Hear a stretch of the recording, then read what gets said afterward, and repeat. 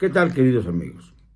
Debo decirles que he repasado todos los delitos que cometió y ha cometido Andrés Manuel López Obrador durante su periodo presidencial.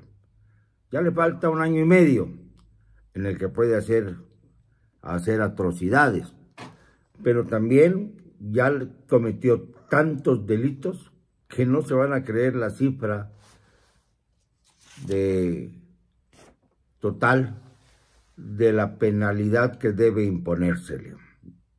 Esto es terrible. Desde luego lo peor fue el mal manejo de la pandemia. Teniendo México, el gobierno federal, un medicamento llamado Remdesivir, no lo aplicó a tiempo por las restricciones del doctor muerte Hugo López Gatel, quien decía que no estaba debidamente autorizado, analizado, cuando ya se aplicaba en los países del primer mundo, incluyendo Estados Unidos, claro. Pues eh, por no aplicar Remdesivir, que es nada menos que un antiviral, un antiviral que sirve para detener el virus mismo cuando se empieza a propagar por el cuerpo humano. Al detenerlo, pues se interrumpe el proceso de destrucción interna que causaba el famoso virus de COVID-19. Lamentablemente, solo utilizaron esta medicina, el Remdesivir, los muy ricos y cómplices de López Obrador y la familia misma de Andrés Manuel, su hijo José Ramón, la esposa de este, Caroline Adams, y el propio presidente de la República. Ustedes recordarán que cuando contrajo el COVID el señor López Obrador, fue sorprendente que se recuperara tan pronto, eh, considerando lo que tardaban en recuperarse entonces los que eran infectados por el maldito virus. Y salió muy ufano a decir que ya estaba bien, recorrió el Palacio de Gobierno, el Palacio Nacional, perdón, con las ventanas abiertas, es decir, sin ningún cuidado, lo vimos en un video, y el señor estaba bien, poquito ronco nada más. Y esto nos revelaba que también a él, sin duda alguna, le pusieron esta medicina Remdesivir que pues aliviaba la posibilidad de que el COVID-19 afectara además a tantas y tantas personas que por riqueza, cercanía, o por ser miembros de la familia del presidente, no, no, lo, no desarrollaron el mal completo y pudieron interrumpir que el virus se propagara. Y sanaron, sanaron rápido. Este era el secreto que también guardaba Donald Trump, quien también contrajo COVID y a los tres días estaba feliz de la vida, pues eh, mascullando sus maldiciones y todo tipo de exabruptos, muchos de ellos contra la sociedad mexicana. En fin, entonces me puse a buscar cuántos delitos había cometido ya López Obrador. Ya lo había yo dicho en una célebre audiencia masiva que tuvimos frente al Monumento de la Revolución el 21 de marzo de 2021. un momento extraordinario en el que muchos miles de mexicanos lo declararon culpable por los delitos que se le fijaron. Yo tuve oportunidad de intervenir en esa ocasión y fui señalando algunos de los delitos cometidos por López Obrador. Por ejemplo, sin duda alguna, los delitos contra la seguridad del Estado, que tiene que ver, por ejemplo, con la manera en que soltó a Ovidio Guzmán López, hijo del Chapo. Yo sí le digo el Chapo, presidente, porque es su apelativo, el que todos conocen. No me vengo a reverenciar a este sujeto execrable porque usted considera que es eh, una persona, un ser humano que debe ser respetado. No, se le llama el Chapo y el Chapo se debe quedar. Punto. Usted no tiene ningún derecho a reverenciar a los narcos y a insultar a los periodistas. Es usted miserable. Pero bueno, seguimos con los delitos.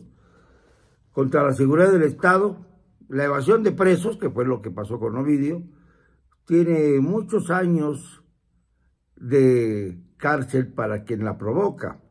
El terrorismo, porque tal se considera a los famosos narcotraficantes en varias partes del mundo, aunque se ha levantado este término en los Estados Unidos por un arreglo soterrado con López Obrador que no sabemos hacia dónde va a llegar.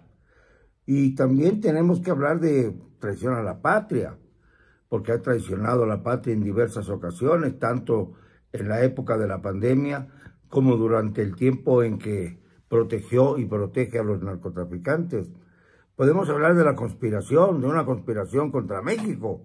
Podemos hablar de haber incitado a los militares a violentarse contra los civiles en nuestro país. En fin, toda esta parte, esta parte eh, tan grave, tiene como penalidad, eh, juntando todos los delitos, 186 años de cárcel. Pero también hay que agregarle los hechos de corrupción. La destitución de su mandato debiera darse como consecuencia de los actos de corrupción que se le han comprobado, con sus familiares, con los miembros de su gabinete y con sus cómplices, a los que no toca. Dice él que no hay intocables y que sigue el combate a la corrupción. No lo hemos visto, presidente, no lo hemos visto. Usted tendrá a lo mejor una película que pasa todos los días creyendo que está combatiendo la corrupción, pero no lo ha hecho. Podríamos mencionar infinidad de casos, y usted lo sabe, usted lo sabe perfectamente bien. Todavía la compra hecha de la refinería de Deer Park en Texas le está dando a usted bastante dolores de cabeza porque ya vino ayer otro incendio de la refinería de Park. Bueno, pues por hechos de corrupción, además de la destitución, pues se da el ejercicio ilícito de servicio público, el abuso de autoridad en muchos casos, cuando usted fustiga, golpea a parte de la sociedad mexicana por no coincidir con usted. La coalición de servidores públicos contra la ciudadanía, el exceso de facultades, el peculado que evidentemente se ha cometido durante su gobierno, la discriminación contra parte de la sociedad, la intimidación que ha mostrado usted contra, sobre todo, los periodistas independientes, el ejercicio abusivo de funciones, cuando usted se entromete en la vida del Poder Legislativo y ahora encuentra en el Poder Judicial su punching back, para decirlo en términos boxísticos, para golpear todos los días a la ministra presidenta que usted no quería. Norma Piña, y que le está dando a usted lecciones de civilidad y jurídicas muy importantes. Y por si fuera poco, pues la reincidencia, la reincidencia constante a sus eh, pecados de omisión, a sus pecados de negligencia y a sus pecados de autoritarismo. ¿Sabe usted cuántos años tiene usted como consecuencia de estos actos ilícitos que purgar en la cárcel? ¿No ha hecho la cuenta, presidente? Pues yo sí la he, ya la hice y me sorprendió, porque ya está usted casi llegando al nivel de la Mataviejitas, que tiene 759 años de prisión, o bien a los eh, jóvenes del Bar Given, que pues ya saben ustedes que se incendió causando muchos muertos y que tienen una prisión de 520 años. Salvo estos dos casos, pues, bueno, se llama, que somos, se llama prisión vitalicia todo esto. Pero fuera de estos dos casos, el tercero sigue usted, presidente, porque ya reúne 274 años de cárcel en total.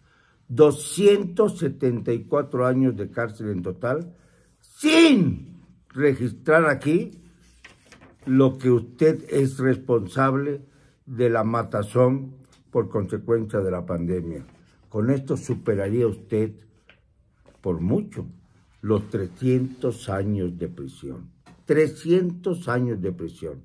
Esa es su herencia, señor López. Esa es la vergüenza que usted no podrá superar.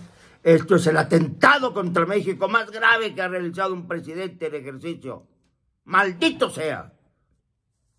No me van a callar. Y lo digo con cero cobardía.